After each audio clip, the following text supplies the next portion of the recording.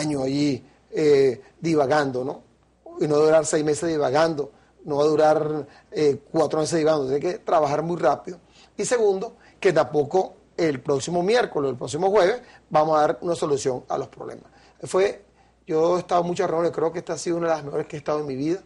Hay una altura eh, en, el, en, el, en la talla de, de la explicación macroeconómica, micro, y sobre todo cómo entre todos salir de, la, este grave problema económico, que hay que romper algo, ¿no? Yo quisiera comenzarlo con tu programa el día de hoy. Y aquí nosotros necesitamos las partes, está dividido el país por eh, la situación eh, política, unirnos ya de una vez por todas. Unirnos, ya creo que hoy deben cesarse los ataques de cualquier tipo y empezar todos a construir un país. Somos todos responsables. Usted veía algunas intervenciones de algunos diputados de, de la Asamblea que decía, ¿y dónde está el dinero que le dieron? Ese dinero se lo dieron, bueno, a unos empresarios, a unos industriales, a un importador, bueno, búsquenlo a ellos. Pero yo creo que ya la gente clama en la calle, cuando uno va a la calle y ve a la gente haciendo la cola, que es algo terrible, que es algo que no queremos que ocurra, que estamos preocupados por ello. La gente lo que quiere soluciones, que vea al presente para dar una solución a futuro. Yo creo que eso es la única forma de poder hacerlo. Además también, si no olvido la palabra, de ser amigos. Nosotros podemos estar en diferentes posiciones políticas, pero no debemos dejar de ser amigos.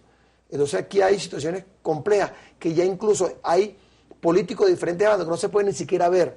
Eso es muy terrible para un país. tenemos que sumarnos para trabajar. ¿Qué garantías hay de que en este momento sí va a funcionar una comisión de esta naturaleza? Porque hemos visto varias. Incluso yo participé de la conferencia de paz y eso se quedó en el camino. ¿Qué garantías hay de que en esta oportunidad sí van a salir de allí soluciones consensuadas, que no se trata solamente de unas reuniones para tomar nota de las quejas de los empresarios, que si no les dieron divisa o que si hay que quitar tal o cual traba burocrática. ¿Se va a meter el diente a fondo en el tema del modelo económico? ¿Está discutiéndose eso?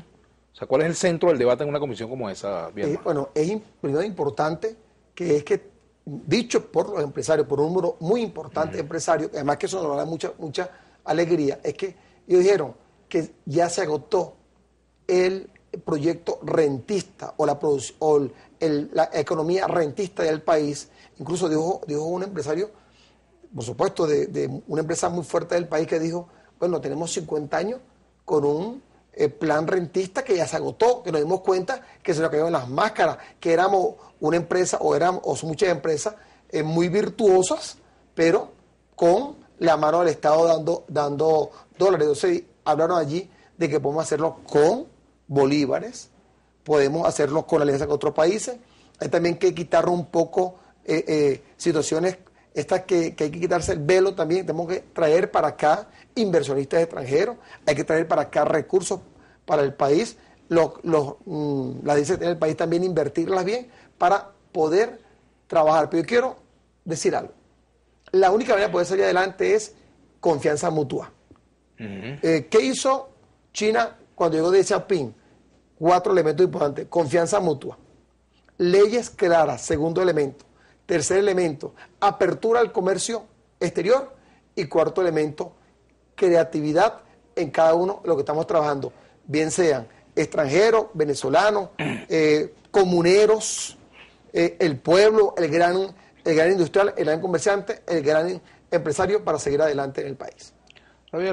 Con respecto al modelo económico, en esa reunión, te insisto en la pregunta, ¿se habló sobre las fallas del modelo económico, que hay que cambiar el modelo o no, no discuten eso? Porque muchas de las críticas que uno escucha tienen que ver con la naturaleza del modelo económico, modelo centralista, estatista, críticas que uno escucha, ¿no?